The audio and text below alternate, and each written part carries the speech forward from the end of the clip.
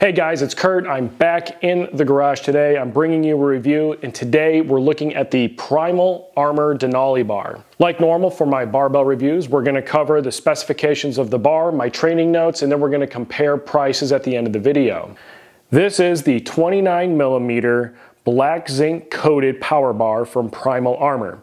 Primal Armor is newer on the scene as far as barbells and equipment goes. This is a made in USA piece of equipment and it is actually pretty phenomenal. And it definitely meets all of the boxes that I have for a power bar.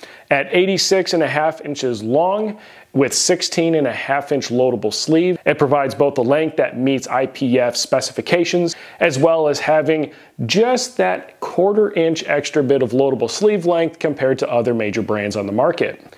The shaft diameter is 29 millimeters, which is what we come to expect from most power bars, and almost every power bar available today does come with a 29 millimeter shaft.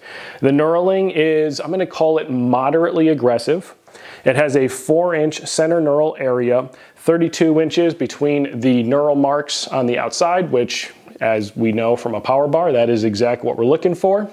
It has a bushing style sleeve design and comes with bright zinc sleeves as the standard option. About one and a half inches before it enters into the actual sleeves, the knurling does terminate and all of the knurl termination points both at the end, at the knurl marks, at the end of the inside knurling, the center knurling is all done phenomenally. There's no stray knurling going on, no double tracking, absolutely no issues. This is a well-made bar. If we go back to the sleeves real quick as well, one of the things that I was impressed with upon receiving this barbell, which came in a tube very well packaged, was that there's almost no play in the actual sleeve. Normally with power bars, you do get a little bit of in and out play, but with this, it's less than one millimeter. I was actually, it does move ever so slightly, but it is less than one millimeter, which is really great because it actually doesn't bind up at all. There's no restrictions. And also, although this doesn't matter for powerlifting necessarily, when you give the sleeves a spin, they are almost silent. So the reason for that is the bushing design, but when you break the sleeves down, which come with a snap ring style construction, you'll see that they did a little bit of ninja stuff here and they actually use what I'm guessing is some white lithium grease on the very end of the barbell. What that does is it quiets the bar down so that it rotates smoothly, and because of where it's located inside of that snap ring construction, in most gym applications, it's not going to attract a whole bunch of dirt, debris, and chalk, which would gum it up. Now, for you audiophiles out there that always hate barbells that have the ribbed construction, this does actually have a ribbed marking on the outside. So I'm sorry, no smooth sleeves for everybody out there. But honestly, from what I have used, it works really well as far as maintaining its grip using the collars. Now keep in mind, a lot of that's going to be based upon which collars you used, what lift you're doing, and how aggressive you're being during that lift. Now, I first became aware of the Primal Armor band at Home Gym Con in 2023. I was talking with Jeff, who is the owner, who is also a firefighter, for those of you looking to support small businesses owned by heroes.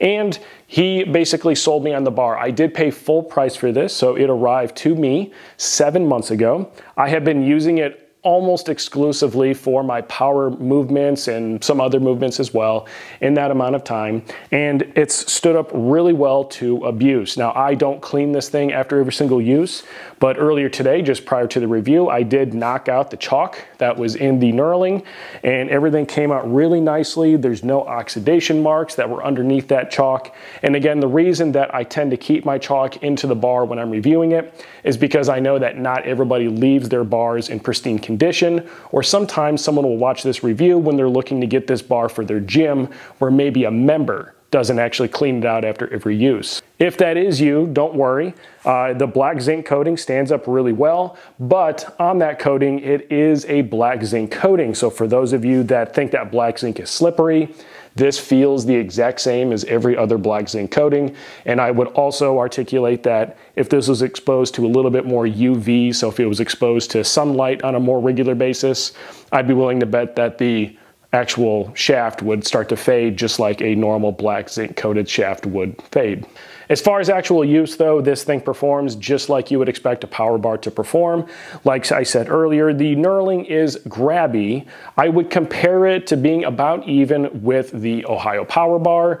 It's basically right on that same thing. It is a volcano style knurling. It is really nice with or without chalk, but if you do use chalk, it really does just nicely grab into the skin. And of course, it leaves that nice pattern in your hand when you release the bar. That way you know you grip something. If you've felt the Kabuki Next Gen Power Bar shaft, I would say that it is just underneath that one as far as grabbiness goes. But something to note is that this is definitely not an aggressive, like an aggro style aggressive knurled bar. This isn't gonna cut you, this isn't gonna damage you like an aggro style bar will. So if you're one of those sadist masochist type who really like to just bleed in the gym, Maybe this isn't the bar for you, but if you're like the rest of us, maybe this is the bar for you and a really good choice. As I said at the beginning of the video, this is an American-made piece of equipment. It is a small business that is owned by a firefighter, which I'm gonna go ahead and count underneath my public service, law enforcement-owned, military-owned companies and of course it is of superior quality in nature. Therefore, it meets all three of my conditions for being something that I would definitely recommend to a lot of you guys. But before I can officially get you to click that button and maybe check out to see if this Denali bar is the one for you, let's talk real quick about price. The Primal Armor bar comes in at $315. That is according to their website today. Now, if you go on their website and you read the description of the Denali Power Bar, one thing that I didn't particularly appreciate, but I understand what they did, is that they state on the page that the Denali bar is up to IPF specifications. Now, this doesn't mean, although it does weigh 20 kilograms exactly, or 44.2 pounds exactly. Sometimes it comes in at 20.1 kilograms, but well within the margin of error. Although it meets those IPF specifications, it is actually not IPF approved. So when you're comparing this to other bars on the market, like the Rogue 20 kilogram Ohio Power Bar, which is IPF approved, you can't really compare those. You have to compare this to the Ohio Power Bar, which does not carry the IPF approval, but it's of similar specifications.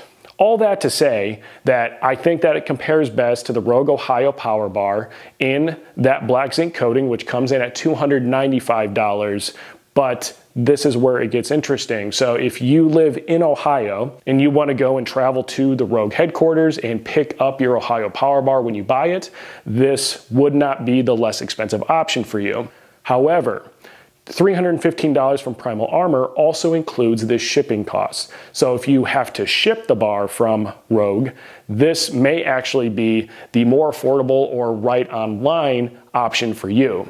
At that point, if they're both $315, let's assume that it's $20 shipping then you would have to basically weigh out do you want a Rogue product, a Primal Armor product, because they're both made in USA, they're both veteran owned businesses. And if it was me making that decision, I would likely choose to go with the Primal Armor because I think that supporting small businesses is a little bit more important than getting a Rogue branded product.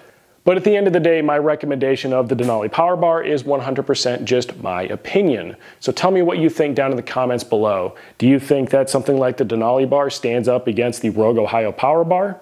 That's been it for this review. I appreciate each and every single one of you that watch the videos that I produce every single week. Remember, when it comes to your garage gym and your training, you should always keep it better, awesome, and of course, badass. I'll see you next time.